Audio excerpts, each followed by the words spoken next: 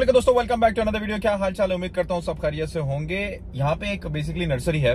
जिसका नाम है लिटिल वंडर नर्सरी ये लोग क्या करते हैं? बेसिकली जो केजी से पहले के बच्चे होते हैं ना नर्सरी होता है मॉन्टेसरी जिसको हम कहते हैं, उन बच्चों को ट्रेन करते हैं। तो उस बेसिकली उन लोगों को मतलब ऑलमोस्ट ये समझ लें कि रिक्वायरमेंट उनके पास चलती रहती है। जो तो ये बेसिकली रिक्वायरमेंट सबसे ज़्यादा मैं इंकरेज करूँगा लड़कियों के लिए। उनको उनको बेसिकली ज़रूरत पड़ रही है नैनीज की। ठीक है ना?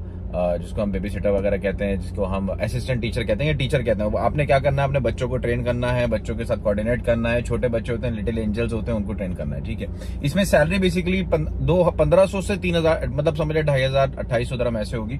आपके पास एक्सपीरियंस होना चाहिए कम से कम साल, डेढ़ साल का बच्चों के साथ बात करने का किंडर गार्डन के बच्चों के साथ कैसे बात करते हैं मोन्टेसरी के बच्चों के साथ। उनको ट्रेनिंग कैसे करते हैं? मेल फीमेल दोनों अप्लाई कर सकते हैं, लेकिन मैं लड़कों को इनकरेज इसलिए नहीं करूँगा, क्योंकि इस पोजिशन के लिए ज़्यादातर लड़कियों को ही कंसिडर किया जाता है, मैं आपको क्लियर बता रहा हूँ। तो लड़कियाँ ज़रूर जाए। लोकेशन टाइमिंग डेट मैंने वीडियो के नीचे नीचे डिस्क्रिप्शन में है, ठीक है ना? और टिकटॉक पर आपका भाई उसको ज़रूर फॉलो करें। जहाँ से भी देखते हैं, जिस कंट्री में टिकटॉक चल रहा है, जाके फॉलो करें, क्योंकि सारी अपडेट सबसे पहले टिकटॉक पे आएगी, बाद में यूट्यूब पे आएगी, ठीक है? तो वीडियो को शेयर करें ज़्यादा। अपना ख्याल रखिएगा। भाई को दुआ में याद रखें।